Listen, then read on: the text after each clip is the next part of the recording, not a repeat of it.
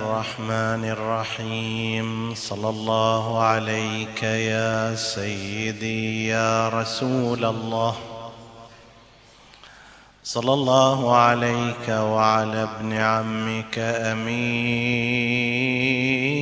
المؤمنين وإمام المتقين. صلى الله عليك يا سيدي يا أبا عبد الله. ما خاب من تمسك بكم وأمن من لجأ إليكم. يا ليتنا كنا معكم. فنفوز فوزا عظيما. لبس الإسلام أبراد السواد. يوم غال المرتضى سيف المراد. ليلة ليلة ما أصبحت إلا وقد غلب الغي على أمر الرشاد.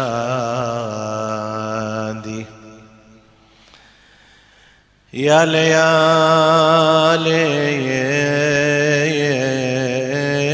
أنزل الله بها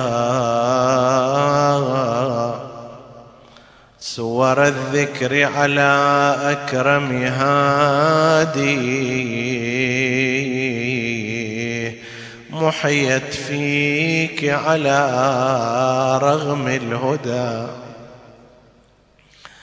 آية في فضلها الذكر ينادي.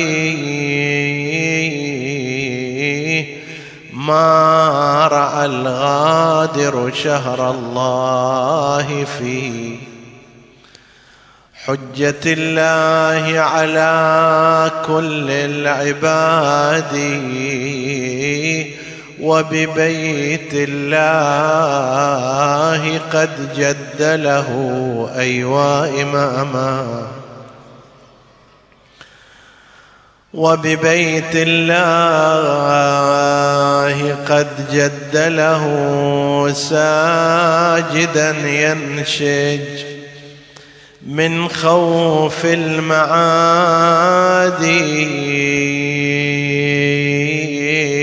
قتلوه وهو في محرابه.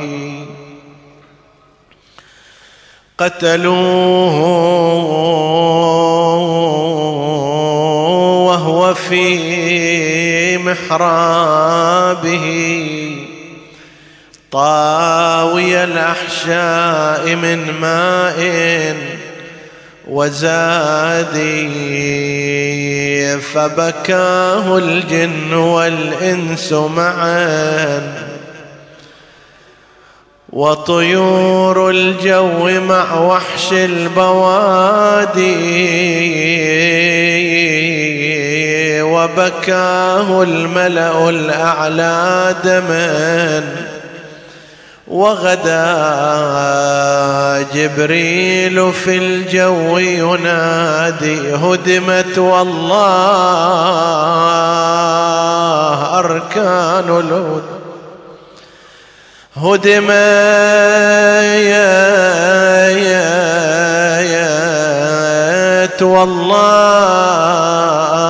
أركان الهدى حيث لا من منذر فينا وهادي سل بعينيه الدجى هل جفتا من بكان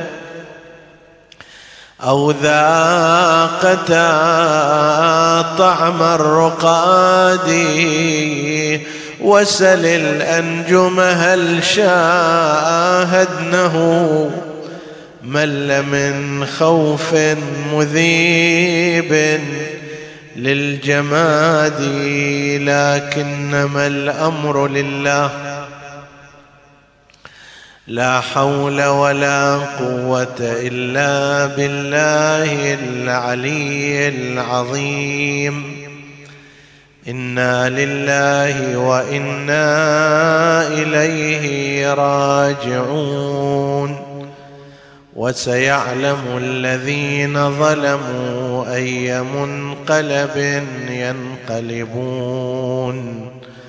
والعاقبة للمتقين.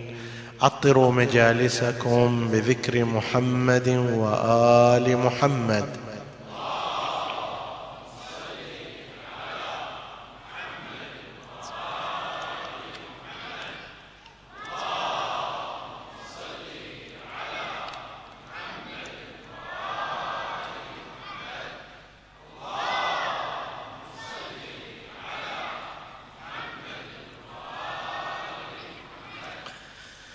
قال سيدنا ومولانا أمير المؤمنين سلام الله عليه. ألا وإن لكل مأموم إماما يقتدي به ويستضيء بنور علمه. ألا وإن إمامكم قد اكتفى من دنياه بطمريه ومن طعمه بقرصيه ألا وإنكم لا تقدرون على ذلك ولكن أعينوني بورع واجتهاد وعفة وسداد. صدق سيدنا ومولانا أمير المؤمنين صلوات الله وسلامه عليه.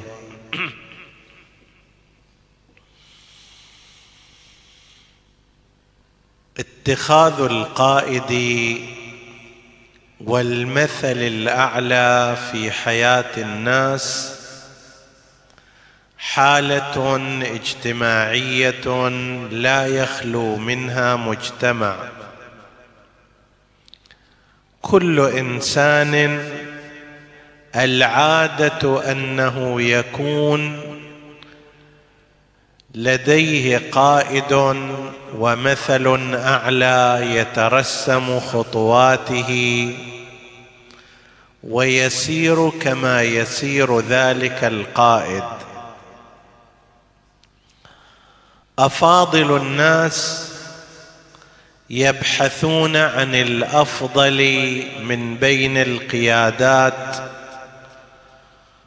وأولئك الأراذل أيضا يبحثون عن مثل بالنسبة لهم. أصل قضية اتباع القائد ووجود الإمام بالمعنى اللغوي للإنسان هذا أمر اجتماعي لا يختص به مجتمع المسلمين وإنما يعم في كل المجتمعات.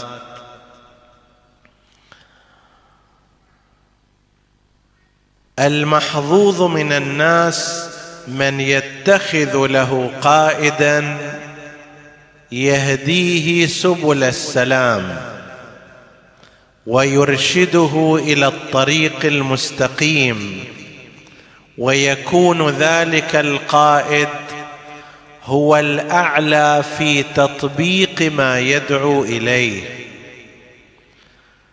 ونحن نحمد الله عز وجل أن وفقنا لانتخاب منهج أمير المؤمنين صلوات الله وسلامه عليه الذي هو منهج رسول الله والتطبيق الأفضل لمبادئه أكرمنا الله سبحانه وتعالى بأن هدانا إلى هذا الطريق. الحمد لله الذي هدانا لهذا وما كنا لنهتدي لولا أن هدانا الله. وعلينا مسؤولية الثبات والاستقامة وأن نجعل أبناءنا وبناتنا ونسلنا على هذا الخط المستقيم.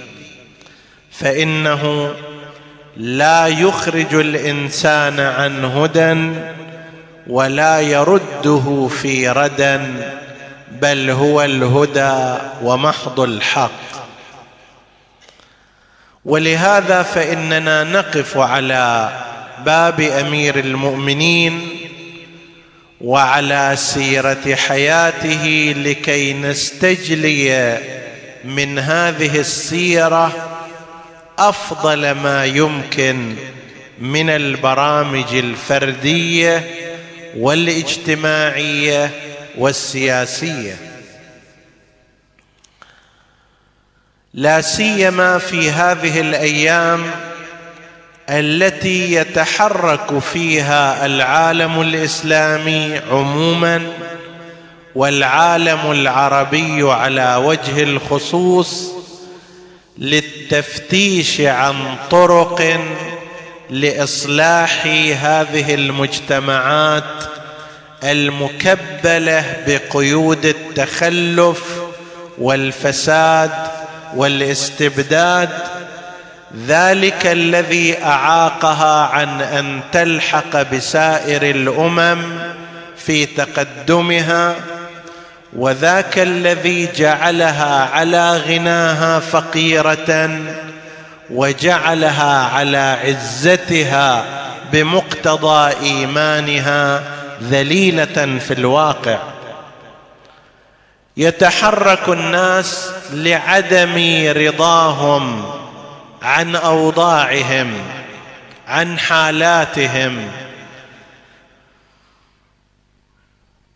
نحن لن نسلك ما سلك غيرنا من كلمات لا تساوي الحبر الذي تكتب به عندما يصفون تحرك الشعوب والمجتمعات. بأنها ناتجة عن إملاءات خارجية وعن خطط أجنبية فإن هذا الكلام لا يستحق أن يرد عليه أصلا لأن فيه مجانبة للواقع بمراحل. دع عنك حديث الإملاءات الخارجية. هل أن أوضاع المسلمين أوضاع الشعوب الإسلامية هي جيدة؟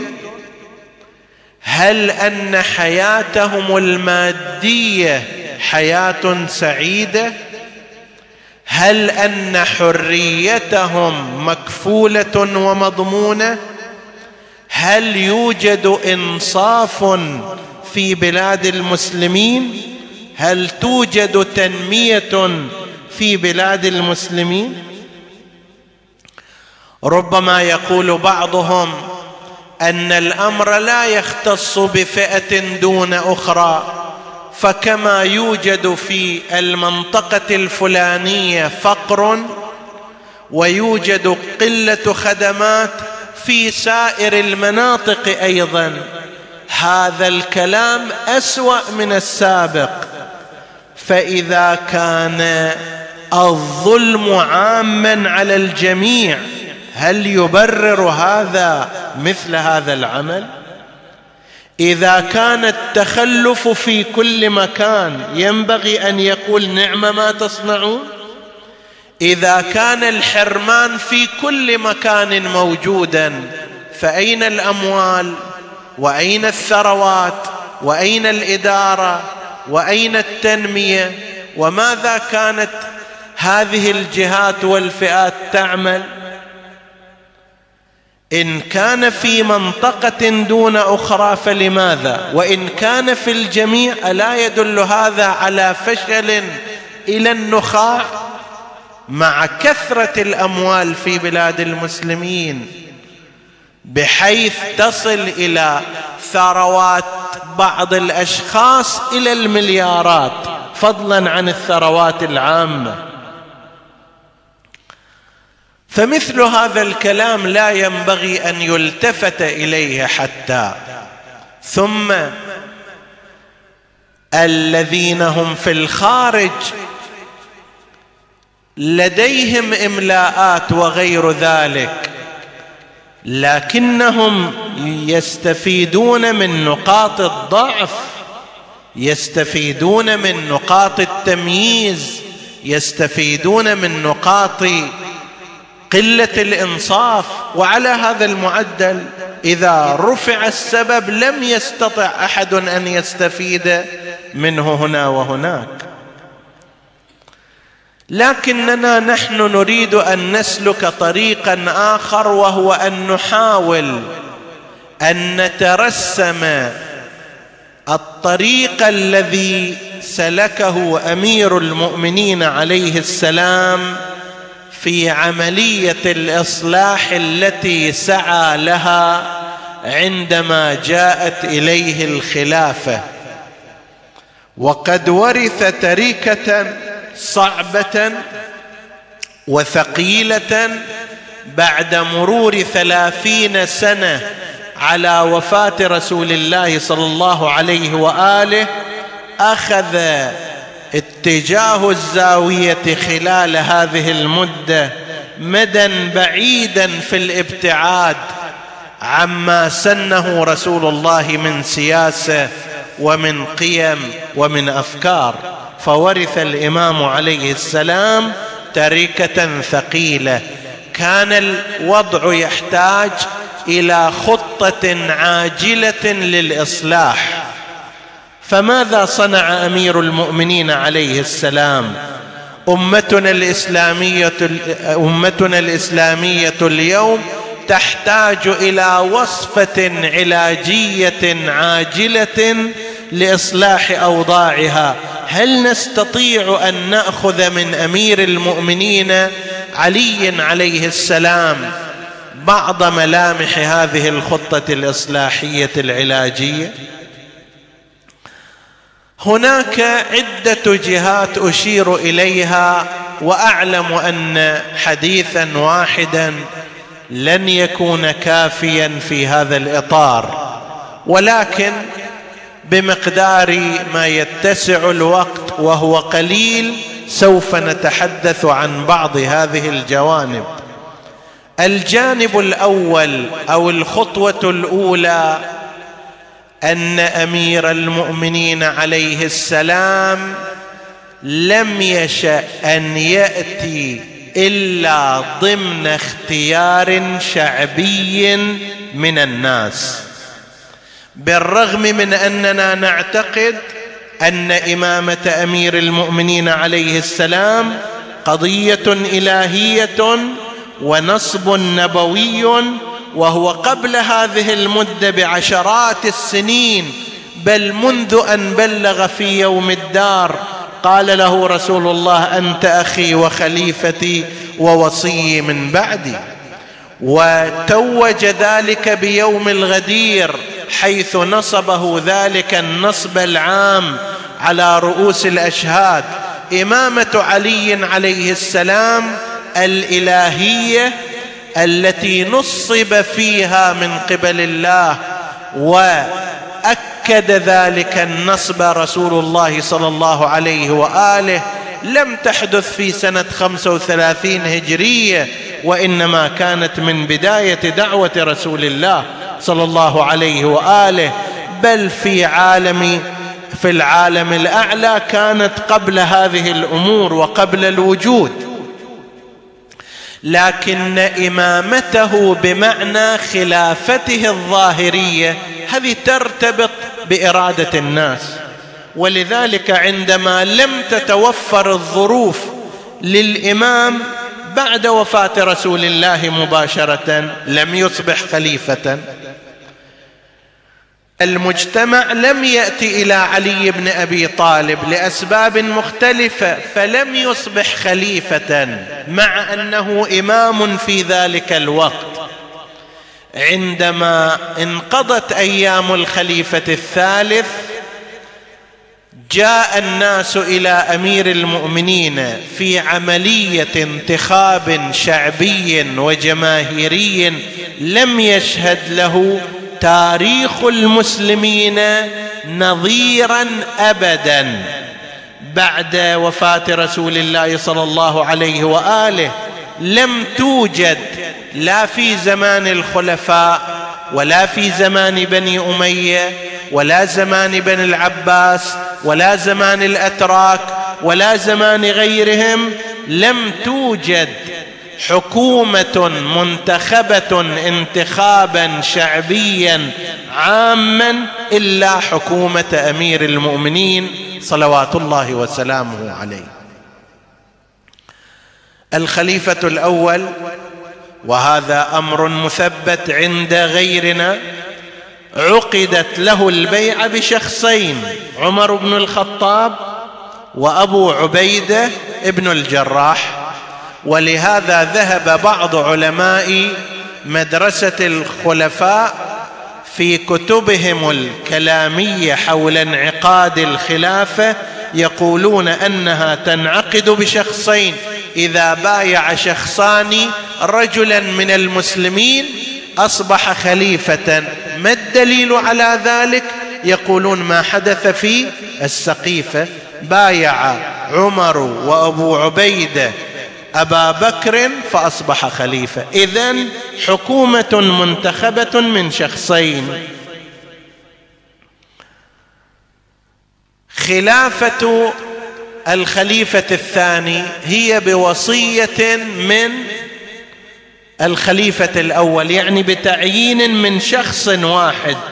ذلك الأمر الذي قال بعضهم أن النبي مات ولم يوصي لم يقبل أن يصنعه. الخليفة الثاني كيف يموت ولا يوصي؟ ويخلف الأمة هكذا. فأوصى إلى الخليفة عمر. فاذا هناك شخص واحد نصب الخليفة.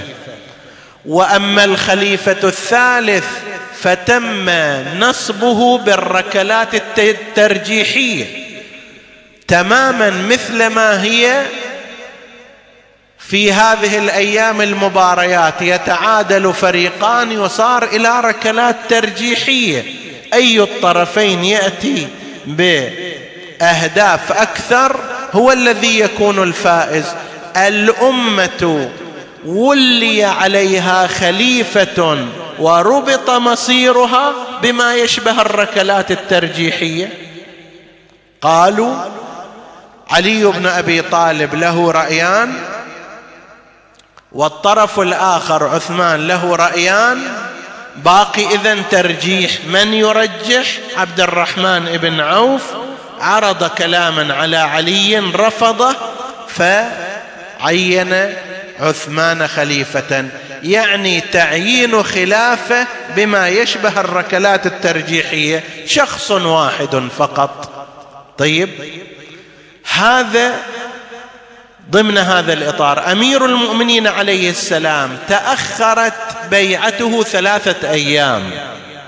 ولم يقبل أن يبايع من اليوم الأول ولا من جماعته الخاصين. كانوا يأتون إليه يوميا ويجلسون عنده. هو قابض يده وهم يفتحونها هكذا وهو يضمها وهم يفتحونها وهكذا كان المشهد يتكرر من الضغط العام الشعبي عليه مدة ثلاثة أيام. حتى قال مجتمعين حولي كربيضة الغنم تصرخون البيعة البيعة حتى لقد وطئ الحسنان وشق عطفاي من كثرة الازدحام والتضاغط على أمير المؤمنين عليه السلام. فأول خطوة أمير المؤمنين عليه السلام جعلها بداية الإصلاح أنه أراد أن يأتي من خلال تفويض الناس لا لأن إمامته مربوطة بهذا الأمر إمامته ثابتة قبل كل هذه الأحداث ولكن لكي يستطيع أن يتحرك في المجتمع لكي يلزم الناس إلزامات لا بد أن يبايعه هؤلاء الناس. يقبلون به يختارونه يأتون إليه. أما أن يجي واحد وينصب نفسه على الناس على رغم إرادتهم لا يت... لا يملك هذا الشرعية المطلوبة. لذلك كان يقول ليس أمري وامرها وأمر هؤلاء واحد لم تكن بيعتكم إياي فلته وليس أمري وأمركم واحد. فهذه أول خطوة صنعها الإمام أمير المؤمنين عليه السلام بالرغم من أن إمامته لا ترتبط برضا الناس ولا باختيارهم ولكن خلافته وتصرفه الخارجي أراد أن يأتي من خلال انتخاب الناس واختيارهم. وهذا لو أردت مثال بسيط إلى مثل إمام جماعة. إمام الجماعة لا تتحقق إمامته للجماعة إلا بوجود مصلين خلفه وإلا إذا واحد إجا وقف في المحراب ما حد إجا صلى وراء ما يصير إمام جماعة خلي إن شاء الله يصير مرجع. الإمام أمير المؤمنين عليه السلام أراد هذه الطريقة حتى يلزم الناس بها وحتى تكون خلافته خلافة عامة. هذا أول نقطة وخطوة بدأ بها الإمام عليه السلام. لا توجد بعد وفاة رسول الله صلى الله عليه وآله في تاريخ المسلمين حكومة وخلافة وإمامة ظاهرية أقبل عليها كما يقول الإمام أمير المؤمنين أقبل إليها الكبير وهش إليها الصغير. حالة اجتماعية عامة كانت مستبشرة بانتخاب أمير المؤمنين عليه السلام. هذه الخطوة الأولى. الخطوة الثانية بدأ بمحاربة الفساد من الرأس وعزل الولاة الفاسدين. الآن في بلاد المسلمين وجود هذه الثروات الهائلة والضخمة لا ينفع ما دام هناك فساد مؤسس بحيث أنا أحميك وأنت تحميني. أنا الفساد أحميك وأنت تحميني. أنا أغطي عليك وأنت تغطي علي أنا أكتم ملفك وأنت تكتم ملفي وعلى هذا المعدل. إذا رأيت في بلد هذا التأسيس للفساد فلو كانت ميزانيته أضعاف ثروة قارون سوف يبقى فقيرا سوف تبقى التنمية فيه فاشلة. سوف تبقى حاجة الناس فيه دائمة سوف يبقى الفقر فيه مخيما. لماذا؟ لأن هذه الأموال لا تذهب في مصارفها الطبيعية وإنما تذهب في جيب من يزداد تخمة وتحجب عمن يحتاج إليها. إذا شفت في مكان صارت مؤسسات وهيئات ولجان وما أدري كذا لمواجهة الفساد ومحاربة الفساد. لكن أقصى ما صنعته راحت تدور الفراشين تقبض عليهم. فراش هذا لازم نقبض عليه لأنه فاسد باقي له كيلوين شاي.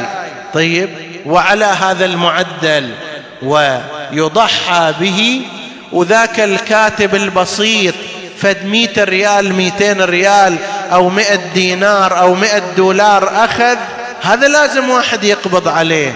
هذه مهزلة تصير ذاك الوقت. إذا أريد محاربة الفساد لا بد أن يبدأ كما قال علي عليه السلام يا أهل البصرة لقد دخلت بلدتكم هذه بشملتي هذه ودابتي هذه فإن خرجت منكم بغيرها فأنا سارق. إذا أطلع بغيرهم أنا سارق. فيبدأ من نفسه مو يبدأ من الفراش ومن الحمال ومن ما أدري اللي راتبه أبو ألف ريال. وإنما يبدأ بالمراتب العليا للإصلاح. لا لتعمد أن هؤلاء يعاقبون ولكن الفساد عند الفراش أقصى ما راح يصنع يخسر الميزانية 200 ريال. بينما الفساد إذا كان على المستويات العليا الكلام هو عن المليارات. وعن الشبكات أيضا. شبكة فساد تصير مو شخص واحد. أمير المؤمنين عليه السلام بدأ بهذه المرحلة راح على الولاة الكبار عزل الولاة الفاسدين. تحدثنا في ليلة مضت كيف أنه بالرغم من من اقتراح بعض أصحابه الخلص عليه أنه تعال خلي معاوية يبقى وخلي المغيرة بن شعبة يستقر وخلي فلان في مكانه وخلي فلتان في مكانه وانئذ تثبت لك الأمور بعد مدة من الزمان غير وبدل. الإمام عليه السلام ذاك الوقت لسان حاله إذا أخلي واحد من هؤلاء يوم إضافي أنا مسؤول عن استدامة الفساد والسرقة والظلم اللي مارسه هذا الإنسان. يرسل إلى واحد المنذر ابن الجارود العبدي وكان واليا له على أذربيجان فيقول له أما بعد فقد بلغني خيانة منك لأموال المسلمين وأنك تقسم مراكز رماحهم ومضارب سيوفهم في من اعت... في من اعتامك من الأعراب. هذول اللي المسلمون الباقون راحوا قاتلوا حاربوا حصلوا في حصلوا خراج يجوك مجموعة من الأعراب ربعك وأصحابك من البدات وإنت تقسم هالأموال فيهم. أما والله لئن بلغني لئن, لئن كان ما بلغني حقا فلأشدن عليك شدة تدعك عبرة لمن خلفك. ووالله لو أن الحسن والحسين وهما ابنا رسول الله أتيا مثل الذي أتيت ما كان لهما عندي هوادة. ولا ظفرا مني بإرادة. لو الحسن والحسين وهما أبناء رسول الله لو سووا مثل اللي أنت سويت ما كنت إلا أن أعاقبهم معاقبة شديدة ولا أتهاون معهم. بدأ من داخل العائلة من داخل عائلته سلام الله عليه. سمع أن أم كلثوم استعارت من بيت المال قلادة ذهب تتزين بها ليلة وقد أخذت تلك العارية من خازن بيت المال. لعله كان عبد الله بن مسعود فراح استحضر هذا الخازن. قال أنت بأي حق تجي تعطي بنتي قلادة ذهب من بيت مال المسلمين كأن اللي وصل خبر إلى الإمام أن بنتك لابسة قلادة ذهب من بيت المال. فاستدعاه قال له أنت بأي حق من سمح لك؟ بأي مبرر شرعي؟ قال يا أمير المؤمنين امرأة من المسلمين مو لأنها بنتك استعارت مني شيئا من بيت المال. عارية مضمونة ولو أراد غيرها ذلك لاعطيتها عارية مضمونة يعني شنو؟ يعني تأخذها مثل الأمانة تستخدمها استخدام معقول فلو صار فيها خلل أو إشكال أو ما شابه ذلك لازم تدفع إما مثلها وإما قيمتها. وإن كان هي عارية الذهب على كل حال مضمونه قال لو لم يكن الأمر كذلك لولا أنها عارية مو عطاء ولولا أنها مضمونة أيضا ولولا أنه أنت ما عندك محاباة وكنت تعطي حتى لغيرها من المسلمات ذاك الوقت لا اوجعنك ضربا أعاقبك ولو هذه بنتي لكن بنتي وغيرها سواء. وقضية عقيل أنتم تعرفونها لا حاجة إلى ذكرها ولقد رأيت عقيلا وقد أملق ورأيت صبيانه شعر شعث الشعور غبر الألوان كأنما سودت وجوههم بالعظلم وعاودني مؤكدا وردد علي القول مرددا فأحميت له حديدة حتى إذا أدنيتها من بدنه ضج ضجيج ذي دنف من ألمها وكاد أن يحترق من ميسمها فقلت له ثكلتك الثواكل يا عقيل. أتضج من حديدة أحماها إنسانها للعبه وتجرني إلى نار سجرها جبارها لغضبه أتضج من الأذى ولا أتئن من الأذى ولا أضج من لظى؟ هاي أنت محتاج صحيح ولكن هذا لا يبرر لك أن أنا ما دام أخوك أعطيك ما تطلب وما تحب. حالك حال الناس إذا خرج عطائي أنا أعطيك إياه. وهذا يبين لنا نقطة أخرى أيضا. أنه في عهد أمير المؤمنين وهذا من أسس الإصلاح. ما يقدر الحاكم والرئيس أن يخلي له شيك مفتوح بلا حدود؟ أكو راتب معين أكو عطاء معين. إلى هذا الحاكم إلى أمير المؤمنين هسه أفرض أنه أكثر من غيره أو قد غيره لكن إلى حد معين لا أنه هو يملك البلاد وما عليها ومن عليها. يقول له لذلك أنا أعطيك عطائي إذا خرج. فعقيل قال له وما قدر ما يقع عطاؤك في حاجتي. إيش قد أنت يعني عطائك هو إيش قد؟ عشر دراهم عشرين درهم خمسين درهم. شنو هذا يسوي إلي يعني؟ لأن عقيل كان مكثرا من الأولاد وفي زمان أمير المؤمنين كان كفي كفيف البصر فغير قادر على العمل وعلى الكسب. طيب. فهذا الأمر الآخر أيضا إجى قلع جذور الفساد وخاطب كبار رؤوس الفساد وضرب على يدهم. أي واحد سمع أنه فد مشكلة عنده وهو من الولاة خلص هذا مثل خلية سرطانية شيلة لا تشيله من هنا وتحطه هناك. شيله من مكان ثاني وتحط.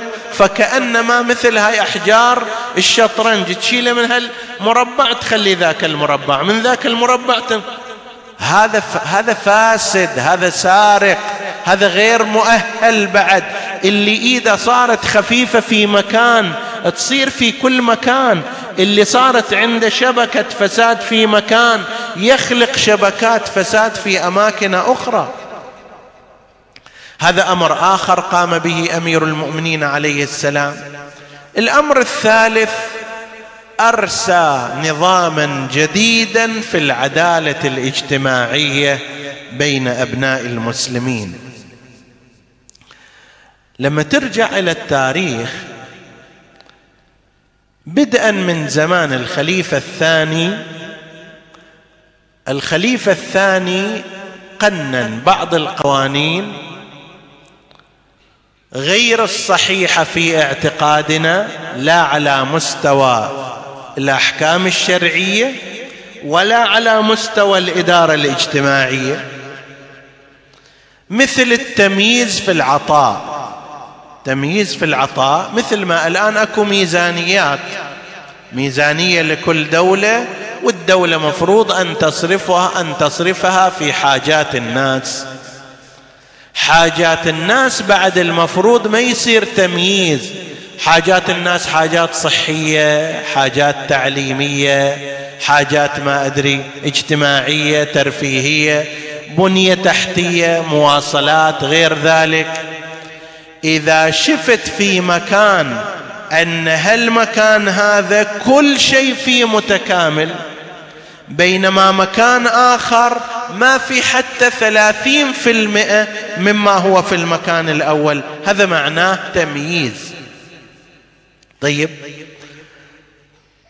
ولا يبرر كما ذكرنا في البداية أنه مو بس هالمنطقة هالشكل أكو مناطق أخرى. مو الأيام نسمع هالحكي هذا أنه أكو مناطق أخرى أيضا محرومة. زين ليش تصير مناطق أخرى محرومة؟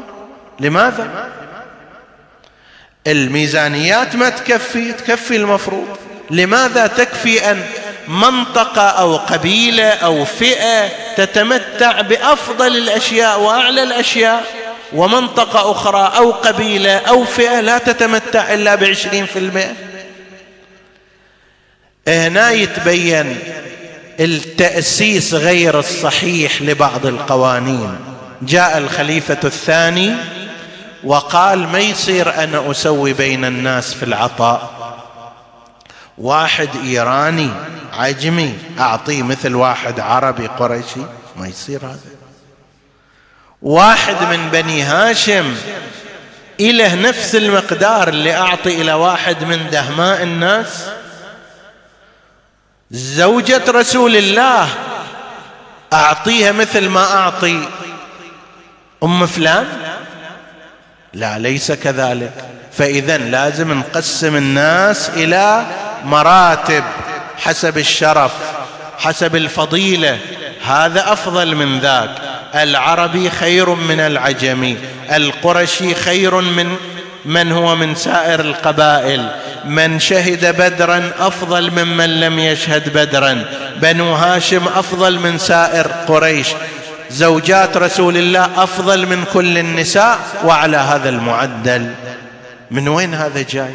لم نجد. له أصلا في كتاب الله عز وجل.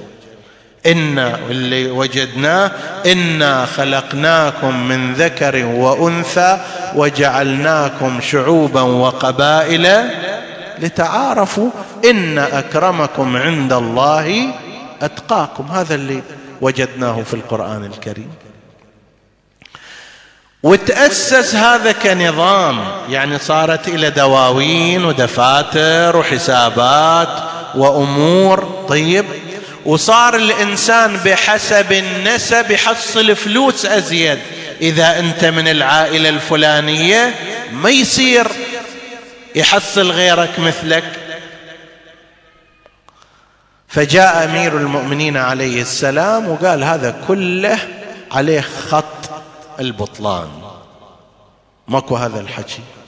فأعاد المسألة إلى ما كانت على زمان رسول الله من أنه كان يسوي في العطاء بين الناس ولا يعتبر الأنساب مفضلة لأحد على أحد ولا المشاركة في الحروب مفضلة لأحد. هذا عند الله سبحانه وتعالى.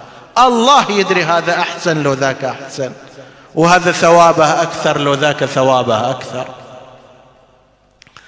حتى جاءت إليه امرأة ومعها مولاه مرأة غير عربية وهناك امرأة قرشية فأعطى هذه عشر دراهم وتلك عشر دراهم فقالت له المرأة القرشية يا أمير المؤمنين إنها مولاة يعني أجنبية. إنها غير عربية. فأخذ أمير المؤمنين قبضة من التراب وفته في يده وقال كلكم لآدم وآدم من تراب. والله ما وجدنا لبني إسماعيل فضلا على بني إسحاق. ولا لبني إسحاق فضلا على بني إسماعيل. ليش لازم اعطيش عشرة واعطيها خمسة؟ وهذا اللي خلى قسم من الناس يشوفون أن هالعدالة هذه ما تتناسب وياهم ابدا. كانوا مكومين أموال وثروات ومسترزقين بهالشكل. فجاء علي وقطع كل ذلك. هذا أمر آخر والحديث فيه يطول. واخر الأمور التي نتحدث عنها هنا أنه أطلق الحريات العامة للناس في المعتقد وفي التفكير وفي التعبير. كان في الكوفة خط لبني أمية خط معادي لأمير المؤمنين عليه السلام. كان هناك خط في الكوفة مخالف لتوجهات أمير المؤمنين بالصراحة يمثله أبو موسى الأشعري. أبو موسى الأشعري لما أراد أمير المؤمنين عليه السلام أن يخرج إلى صفين وهو أي أبو موسى كان واليا على الكوفة بعد كان والي. طيب كان يخذل الناس عن علي بن أبي طالب عليه السلام. يقول إني أروي عن رسول الله ستكون من بعدي فتن القاعد فيها خير من القائم والنائم فيها خير من القاعد. وهذه فتنة والأحسن واحد يروح ينام في بيته. شيل لنا بهالمشاكل هذه وهالأمور. طيب. فكان أمثال هؤلاء موجودون. كان أمثال هؤلاء موجودين في الكوفة. وكانوا يتكلمون عن أفكارهم. وكثير منها مخالفة لأمير المؤمنين. خط بني أمية كان موجود في الكوفة. الخوارج كانوا موجودين في الكوفة. ومع ذلك لم يشن أمير المؤمنين حملة اعتقالات أو مداهمات أو مصادرات أو غير ذلك. بل إلى درجة أنه بعضهم كان يتهدد أمير المؤمنين عليه السلام. مو فقط ابن ملجم. واحد يقال له أبو العيزار الطائي. كان هذا رجل شرس فكان يكفر الإمام عليه السلام اولا ويقول إذا ألقاه راح أجهز عليه. عدي بن حاتم الطائي من خلص أصحاب الإمام أمير المؤمنين عليه السلام سمع عنه فجاء إلى أمير المؤمنين وقال له هذا واحد من عندنا من قبيلة طي رجل شرس فاتك نخشى عليك منه اولا هو قاعد يكفر الآن ثم يتهددك. قال له زين فشنو؟ فما قال يا أمير المؤمنين أقول لك يهددك بالقتل تقول لي ما روح نعتقله روح نسجنه. قال له لما؟ ليش يعني نسجنه؟ ليش نعتقله؟ كيف نأخذه ولم يرتكب جريمة؟ يتكلم هالشكل يسب يلعن يقول هذا كافر يقول هذا كذا. خب خلي يقول هذا الكلام.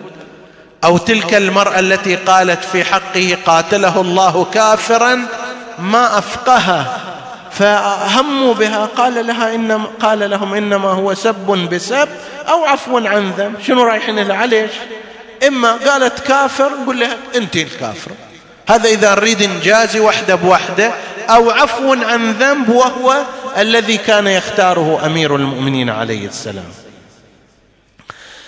فأطلق الحريات لم يضيق على الناس أمورهم وقضايا. نعم إذا كان جر الأمر كما حصل فيما بعد للخوارج أن اعترضوا الناس بالعنف والسيف والسلاح ذاك الوقت وقف أمامهم. وإلا قال للخوارج لكم علينا حق.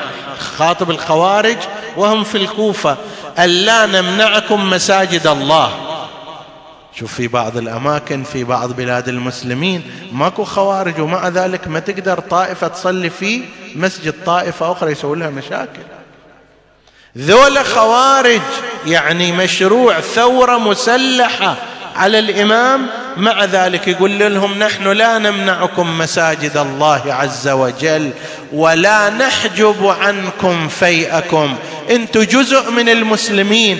إذا مال يصل إلى بيت مال المسلمين أنتم أيضا يصلكم حقكم ما لم تشهروا سيفا. إذا شهرتوا السيف أعلنتوا الحرب على المجتمع ذاك الوقت أسقطتم حقوقكم. هذا اللي يخلي أمير المؤمنين في هالخمس سنوات اللي كان نجم يتألق ومثل أعلى لمن يريد أن يقتدي ويهتدي إلى برنامج وخطه علاجية للإصلاح في بلاد المسلمين حتى في أيامنا هذه. فسلام الله على أبي الحسن. سلام الله على أمير المؤمنين هذا الذي هو تربية رسول الله صلى الله عليه وآله وتبلور لتلك التربية. تجسد لكل توجيهات النبي في صورة علي سلام الله عليه وها هو في مثل هذا اليوم على فراش المرض يتقلب يمنة ويسرى. اليوم الفجر ذلك اللعين جاء وأمير المؤمنين قائم من السجدة فأهوى بسيفه على رأس الإمام عليه السلام. بين قوسين قبل أن ندخل في المصيبة وكذا هناك كلام أنه كيف كان الحسن والحسين نائمين حين الحدث. أنا ما عثرت على مصدر يقول كان نائمين ولعل هذا يأتي على ألسنة بعض الخطباء أو كذا. الإمام عليه السلام فيما أعتقد كانت كان اغتياله في النافلة لا في صلاة الجماعة وبكر في الذهاب. بقية المسلمين ومنهم الحسنان عليهما السلام جاء جاءوا فيما بعد. يعني ليس من الضروري أن يسبق الإمام عليه السلام إلى المسجد. بيوتهم مستقلة وحياتهم مستقلة وكانوا يذهبون.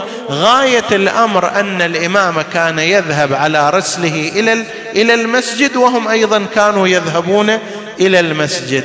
ما ينقل على الألسنة من أنهما كانا نائمين أو أن الحسن كان نائما أنا لم أعثر على مصدر معتبر يؤكد هذا المعنى. وإن ورد على ألسنة بعض الخطباء لكن هذا لا دليل عليه الذي نعتقده هو ما ذكرناه في الليلة الماضية. فصار هذا الحدث اليوم صباحا عندما جاء اللعين بن ملجم وضرب الإمام عليه السلام على رأسه في أثناء نافلته واستغل هذه الفرصة من فراغ المسجد تقريبا من الناس وانشغال علي بالصلاة صلوات الله وسلامه عليه. فضربه تلك الضربه بذلك السيف اللي هو ابن ملجم لعنة الله عليه.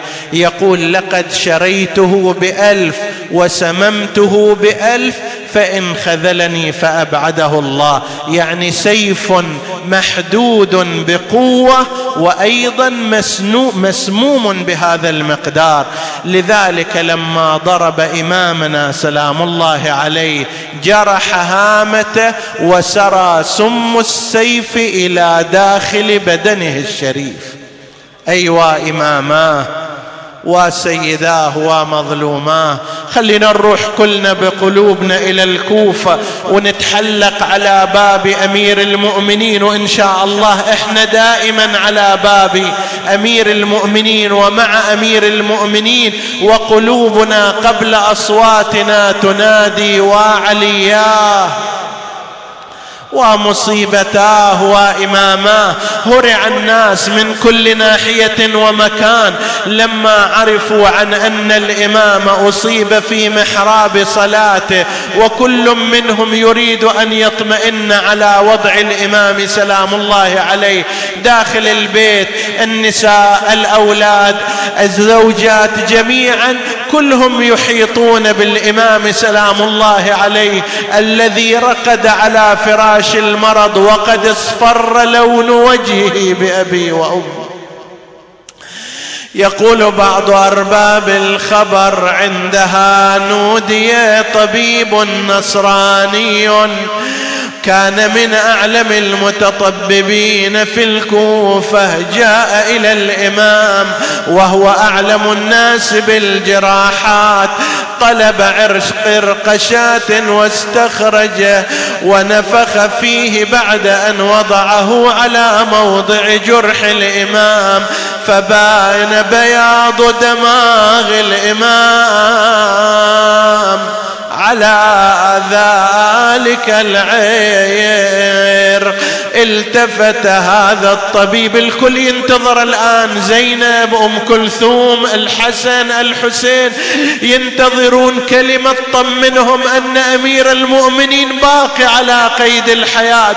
وإذا به ينظر إلى أمير المؤمنين وينادي يا أمير المؤمنين اعهد عهدك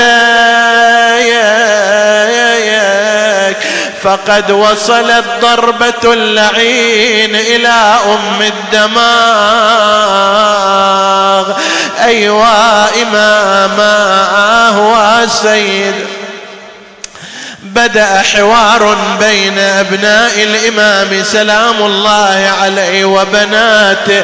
لا سيما عندما رأوا جبين الإمام يتفصد عرقا. قال الحسن للإمام علي يا أبا ما لي أرى جبينك يتفصد عرقا. إن شاء الله بشارة خير هذه الحرارة تخف عنك وتقوم بإذن الله. قال يا بني إن المؤمن إذا نزل به الموت عرق جبينه وسكن أنينه. اذا يا حسن أنا راحل عنكم استمع إلى وصاياي. بدأ يوصيهم بوصاياه المعروفه والمعهوده جاءت زينب إلى الحسين تسأله عن حال أبيها. تقول له يا حسين يا حسين نشدك عن ولينا. يا خوي لا تخفي علينا أش والدي بطل ونينا وأشوف عرق يسفح جبينة كان حالته اليوم زينة. كأنها كانت متفائلة بأن الإمام يقوم من علته. وإذا بالحسين قلها يا زينب يا زينب يا حزينة خبرك خبر لا تظهرين. ترى والدي والدي روح من دينه. والسيف السيف شق غرة جبينه. أوصى الإمام بوصايا. يقول بعض أرباب الخبر لما أنهى وصاياه العامة نادى أين ولدي أبو الفاض أدناه إليه أين زينب جاءت إليه؟ وضع يدها في يده يا أبا الفضل هذه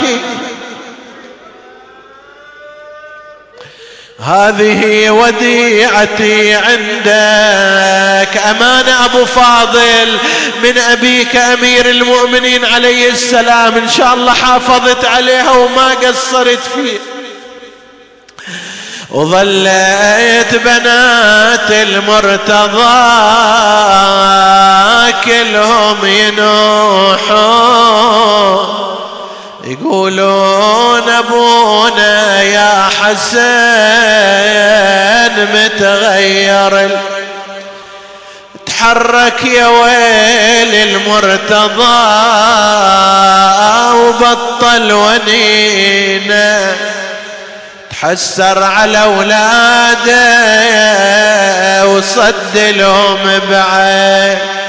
وقال لهم كلامي يا أولادي تسمعون. لازم حسن وحسين من بعدي تطيع. جني بشبل الحسين فوق الفرش نايم. بالسم كبده مقطعه حول الهواش والكل ذابت مهجته والدمع ساجد والحسن يتقلب وأخوه حسين محزون. وما المصيبة اللي تزلزل هالوطي. مصيبة عزيز حسين وحسينا مصيبة عزيز حسين برض الغاضري جني أشوف على الثرى طايح. رمية. يا زينب انت ما تحملتي جرح واحد. تشوفي في راس والدك أمير المؤمنين. إيش راح تسوين إذا شفتي مئات الجروح في جسد أخيك الحسين؟ جني أشوف على الثرى طايح رمية. من حول الشبان بالغبراية والنو أفي شهر الصيام فجعتمونا. اغفر لنا ذنوبنا كفر عنا سيئاتنا آمنا في أوطاننا لا تسلط علينا من لا يخافك ولا يرحمنا.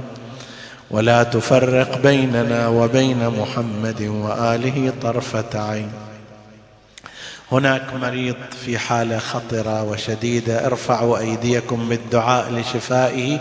أمن يجيب المضطر إذا دعاه ويكشف السوء؟ أمن يجيب المضطر إذا دعاه؟